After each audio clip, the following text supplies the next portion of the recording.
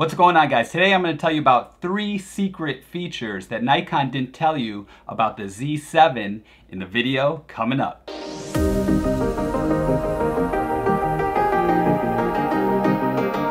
Alright guys, the first hidden feature that Nikon didn't tell you about is the fact that in the Z7 it has focus points, 493 of them, but you can actually wrap it around from one side of the screen to the other side of the screen. So if you're shooting some shot on this side of the screen and you have something over here that just pops up and you need to focus on that, you don't have to go all the way across the screen. You can actually just go to this side and it comes out on the other side. So to show you exactly how we do that, let's go into the menu. Once I have my camera, what I can do is I can just go over here and turn it on, okay? All right guys, so what we do is we press the menu button and then we're gonna go down to custom setting menu. And then once we're in the custom setting menu, what you do is you go over and you go to autofocus, then you click right. When you click right, you go down, you're gonna see all these choices. You're gonna go down to number nine, number A9, and it says focus point wraparound. Then you're gonna click right on that, and no wrap or wrap. So we click wrap and then we press OK. And now, when we focus on a subject, we can just move this point around and it'll go from one side to the other, just like that. And one thing I forgot to mention is that it also can wrap around from top to bottom. So it's not just from left to right, but it's top to bottom as well. So looking back at our screen, I can see that I just go up to the other side, up, and then we go down to the other side, down or left and right. We can just go back and forth and it wraps around. So anywhere we want this point, we can put it exactly where we want it and we can do it very fast by turning the focus point wraparound on. Reviewing my image, I can see that I have whichever hat in focus I want and I can go from side to side really quickly.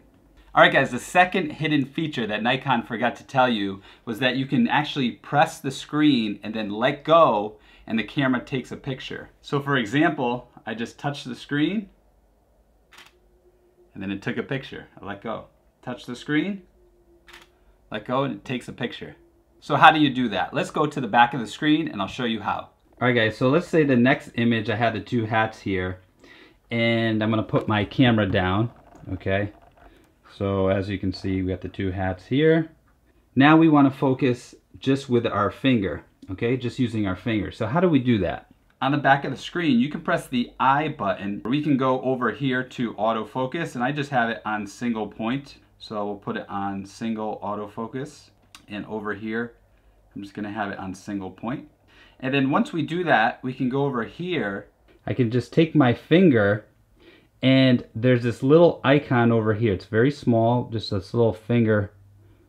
And when I tap on it, it says touch AF. We don't want that. We want touch shutter AF off. No.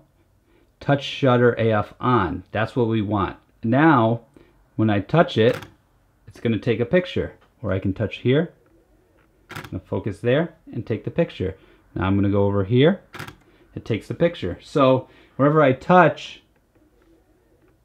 it just takes a picture and I let go of my finger. So I touch over here and as soon as I let go, takes a picture. Touch over here, let's see where I want the focus. I want it more in the dot com, moving over here. Actually, it's where you initially touch. So I touch right there. As soon as I let go, it takes the picture. All right, let's move it a little over here. Takes the picture, move it over here.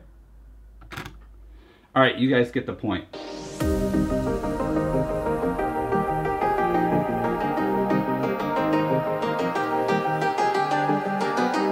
All right, those two features were for photography. Now I'm gonna show you a secret feature for your video. So what you're gonna do is you're gonna go back of the screen, you're gonna toggle this to video, then you're gonna press menu. We're gonna go up to our video icon. We're gonna go up to our movie shooting menu. In our movie shooting menu, the third choice is choose image area. We can either choose FX or DX. Now, FX is the entire full sensor. Okay, so if you're using video, you're going to use the entire full sensor. However, not exactly. What Nikon does is it does something called pixel binning. So it doesn't take the information from the entire sensor. It only takes it from certain lines and you're not going to get as sharp of an image as if you chose DX. Now, when I say as sharp of an image, I mean in normal lighting. Maybe in low light, the FX might be better because it has that full frame.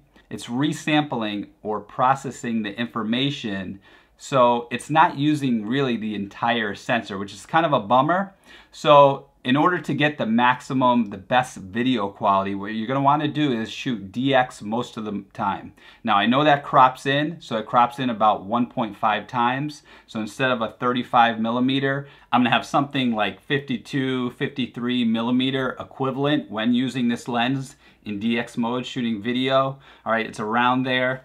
So you may say, oh, that stinks because now it's zoomed in, but at the same time, it's gonna be a little sharper in normal light. You can also then switch to FX and you get a little wider. So switching between these two modes, I actually have a nice 35 millimeter lens and then I also have a 50 millimeter lens in the DX mode that would be great for doing a little tighter shots. I haven't yet done an extensive side-by-side -side comparison, but what I can tell you is in normal lighting, it'll probably be a little sharper with the DX mode. It's using that entire part of the sensor. Even though it's cropped in, it's not doing any pixel binning because it's use, using all the pixels that it has once it's cropped in. So if all that's confusing to you, in simple terms, you have two different focal lengths and you can shoot in DX mode and get usually better video quality or a little sharper video quality in most lighting situations. Alright guys, I hope you enjoyed this video. If you did, don't forget to press that like button. Please share it with a friend if they would enjoy this. If you haven't done so, please subscribe to my channel because I make the latest and greatest videos about all the new equipment, give you tutorials, tips, reviews. I also make videos about drones. So I greatly appreciate it if you subscribe. And before I go, remember guys, siempre pa'lante, nunca para